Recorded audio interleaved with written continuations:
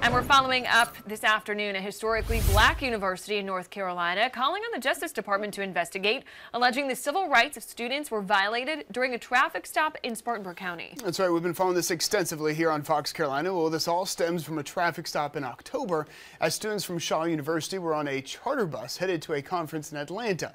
Spartanburg County Sheriff's Office released this body cam video of the stop, saying deputies pulled over the charter bus along I-85 after noticing the bus was swerving. Well, the video also shows the driver consenting to a luggage search.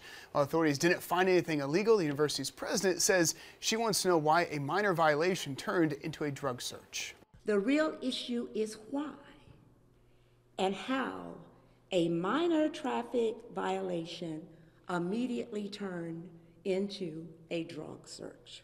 We're still reminded that in this country, for some people, even being innocent is not enough. Now, both Spartanburg and Cherokee County sheriffs say their deputies didn't do anything wrong and this had nothing to do with race. And we reached out to the Spartanburg County Sheriff's Office following this complaint.